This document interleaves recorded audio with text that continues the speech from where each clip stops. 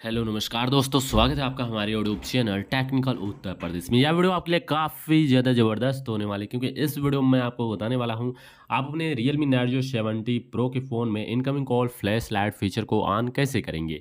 जब भी आपके फ़ोन पर कोई भी कॉल आएगी तो आपकी फ्लैश लाइट ब्लिंकिंग करेगी फ्लैश लाइट जलना चालू हो जाएगी।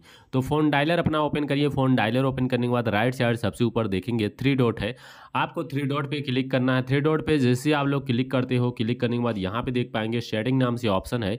आपको शेडिंग के ऑप्शन पे क्लिक कर देना है। सेटिंग के ऑप्शन पे जैसे आप लोग क्लिक करेंगे, क्लिक करने के बाद यहाँ पे देख पाएँगे कुछ ऐसा इंटरफेस एक ऑप्शन आप लोगों को यहाँ पे देखने को मिलता है कॉलिंग अकाउंट नाम से। कॉलिंग अकाउंट के ऑप्शन पे क्लिक करना है। इसके बाद यहाँ पे देखेंगे कुछ ऐसा इंटरफेस एक ऑप्शन आपको मिलेगा मोर सेटिंग नाम से। यहाँ पे देख पाएँगे मोर सेटिंग नाम से ऑप्शन है। मोर सेटिंग के ऑप्शन पे हम लोग क्लिक करेंगे और फ्लैश ऑन कॉल का फीचर हमको यहाँ पे मिलता है। इसको ऑन कर देंगे।